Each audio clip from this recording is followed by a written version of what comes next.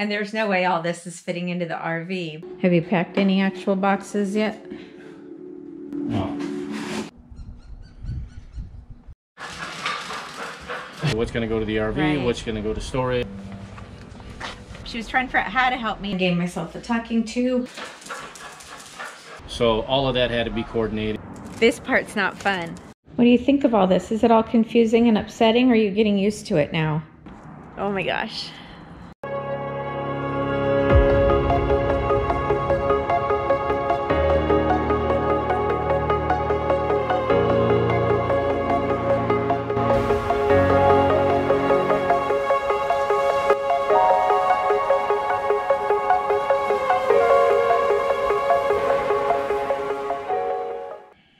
Roamers, I'm Jamie. I'm Linda, And this is Roaming with Rosie.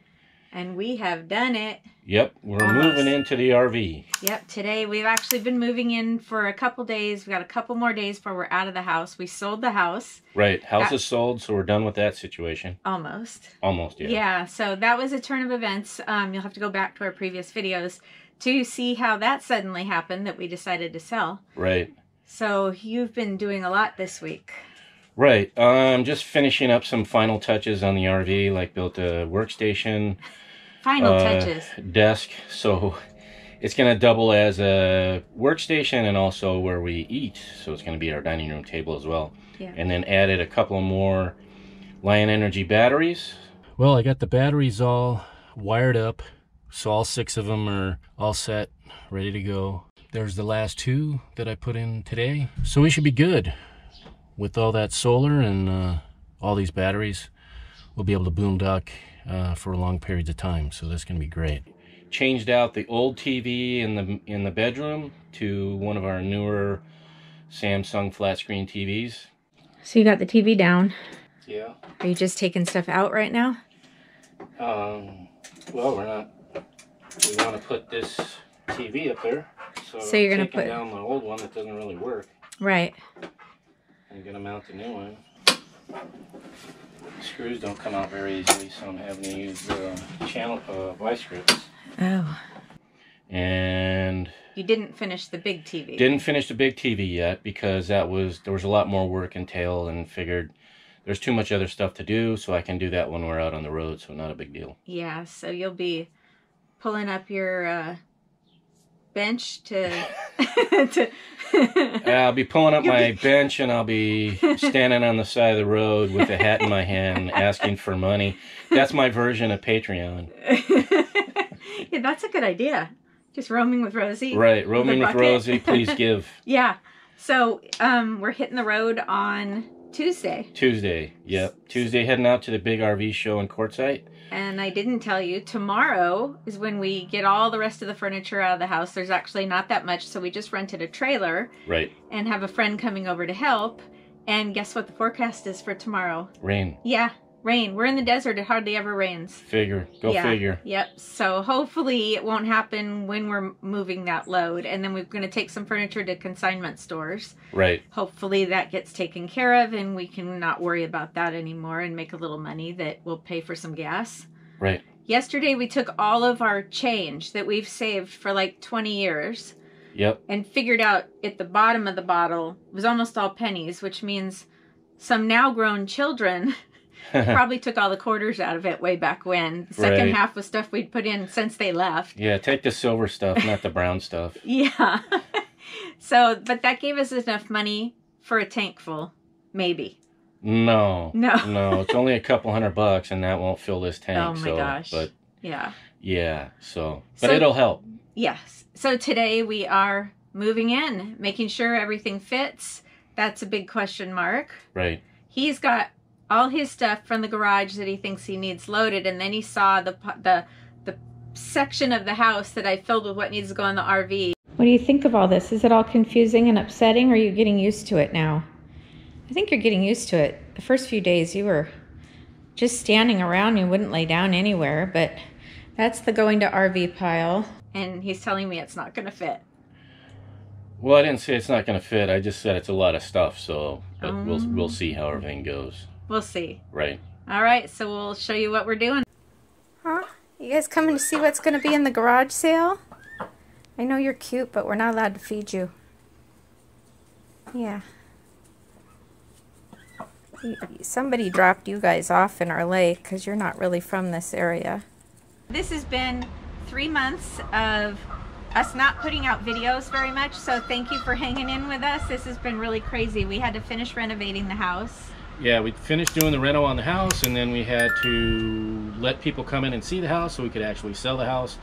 And then it went from there to immediately moving stuff out of the house. Right and figuring selling out stuff. selling We stuff. four figuring, garage sales. Yeah, We had to get ready for the house to sell, so we had to finish renovating it, yeah. Finished doing the reno and then uh, cleaning out stuff. cleaning out and prep it for showing it. We had an open house weekend, and in four days, a hundred different groups of buyers came to see the house in four days. Yeah, it was it was pretty crazy. It was crazy, and Yeah. we were just, and of course, Dexter's shedding that whole time. yeah, and luckily we had enough we had enough offers to be able to shut it down after four days. yes. Then had to start figuring out where everything was going to go. So what's going to go to the RV? Right. What's going to go to storage? So all of that had to be coordinated. So Yeah, so one thing is when you're 60, your friends don't want to come help you move anymore. no, they don't they don't ask friends, they have movers. But I had to explain to my friend that um, she was trying to figure out how to help me and she kept saying, Why don't you just get movers? And I said, because I literally have to look at every item to decide when will I next need this. If you have been following us, you know we will have a home again in this year. So we need to we had to estimate what's worth storing, what's worth the cost of storing, what's worth the cost of moving it to another state later. But I also had to decide what do we need. We've got we know what stages and what areas of the country we're going to be visiting, and we needed to know what we need for each of those things. So we do have this huge closet, so that's really nice. That's really cool for us. But we're going to go from this closet to this closet, and then I'll show you what I did with packing up everything that doesn't fit. So this is what I've done with everything that doesn't fit. So after all those bags that you saw vacuum packed already, that's what's going into storage. I've done three rounds in my closet and there's no way all this is fitting into the RV. I've done, I don't know how many donations to, um, there's a place near us called Clothes Cabin. If you're in the Phoenix area, there's places like this where you donate stuff and then a few days a week, um, people who are qualified by either being homeless or or whatever qualifications, it's pretty generous. They get to come shop and sadly, they only get to come shop once every 3 months and if they're on the streets, that's just not enough to keep them clothed and shoes and um, whatever else they need, jackets especially and blankets. Um, but they don't have enough donations, so that's why they can only come once every three months. It's also a place where people who are homeless can come and they can use a locker and they can wash their clothes and they can take a shower, get what they need so that they can get jobs because not having a home really is an inhibitor to getting a job. So it's really an awesome place. So here goes round four. This still won't fit in the RV. I just went back in, gave myself a talking to, and I've got this much more. Now what am I doing with all that? They're things I wanted to keep, so I'm going to be putting them in these bags so that they only end up being like that high. And um, and they'll be protected in the storage unit. This is what they look like after after you vacuum them.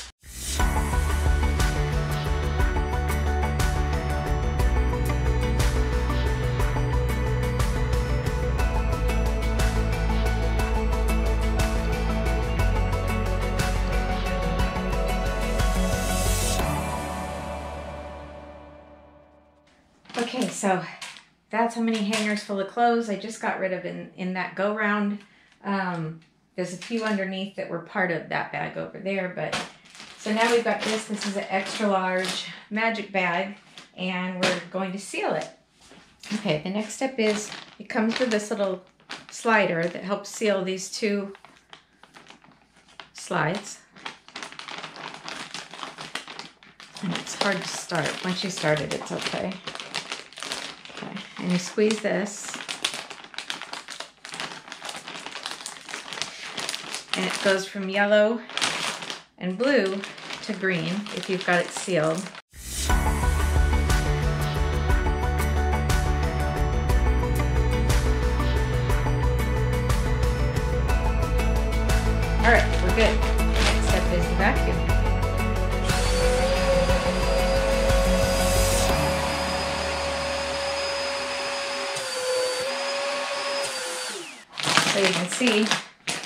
Still weighs as much as that many clothes. Air doesn't weigh anything, so we just suck the air out. So it's remarkably heavy for how small it is and that it's closed, but so that's done. I've successfully gotten everything out of my closet and I will fight with Jamie to get more closet space in the RV. The rest of it, hopefully I'll be able to bring. Um, we do have a lot of storage. It's just not all in the bedroom area. And he's filled one of the bays with, you know, miscellaneous equipment like for electricity and stuff, you know. Turns out the furniture was the easy part because we're selling a lot of it. So this is all going for sale. Already packed up the dining room table and hutches into storage for now because they're too expensive to replace and if we're gonna want them in a year. The kitchen is beginning to be disassembled. All of these cabinets are full.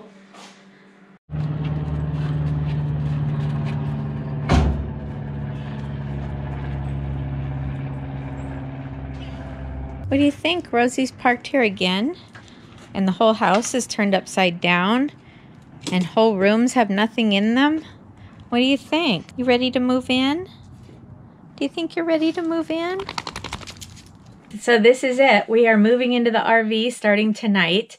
Jamie's been loading underneath and putting all kinds of finishing touches on it so that we can actually live in here for at least the next four months and um, we have to be out of our house in three days so we can get to Quartzsite on time for a big meetup there. But we're really doing it. This is it right now. And of course, he thinks I have too much stuff to put in the cabins, and I think he has too much stuff that's going underneath. Okay, this is it. All the work we've done for 10 years. Bye-bye. The new owners are super happy.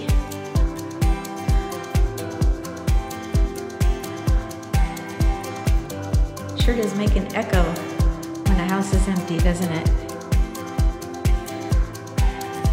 Although I think this one comes off pretty good without any furniture even. This is gonna be a grandmother's room.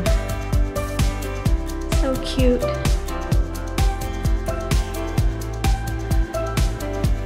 New owners came over and we showed them how everything works. We showed them this um, awesome view that they're going to have. Because they actually bought the house without seeing it. So they didn't even get to see it until yesterday. And we leave today. Bye-bye.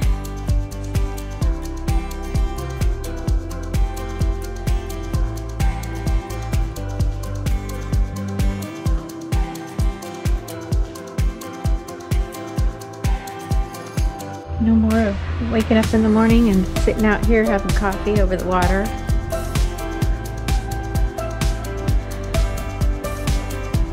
Running my fountain.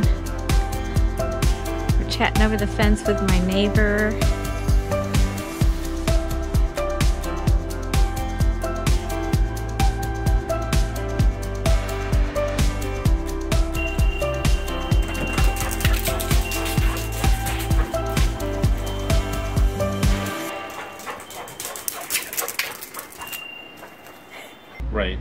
So we're done. Everything's Uh, loaded up. We we overestimated what would fit in Rosie. Right. So we've had to load up our toad as well. Yeah. Yeah. So today we're headed to Quartzsite. We'll be meeting up with um, Mark Guido and his wife Pat of Grand Adventure. We'll be meeting up with um, Shauna and Brian from Life, Life Uninterrupted. We're also going to be camping with Aaron, Aaron and Tina Jones from Jones into Travel. Yeah, we'll take you along with us and we'll do some interviews at the big RV show. That's correct. And our travels begin now. Right. We'll see you on the road. We hope you enjoyed this video. If you're not yet a subscriber, make sure and hit that subscribe button. And ring that bell so you'll be notified each time we upload a new video. And make sure to leave a comment so you can be part of the conversation. Until next time, We'll see you. see ya. It's